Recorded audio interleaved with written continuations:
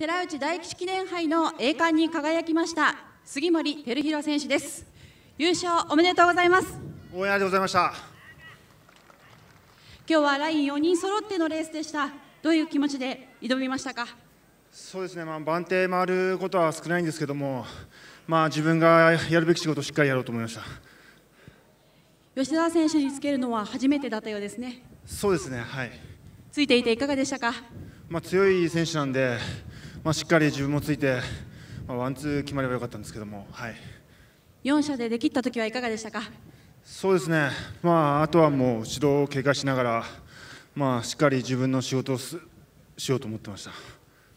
ラインで上位独占となりました。いかがですか？そうですまあ、それでも吉沢君のおかげでなんとか1着取ることができました。さあ今年1年を振り返っていかがでしょうか？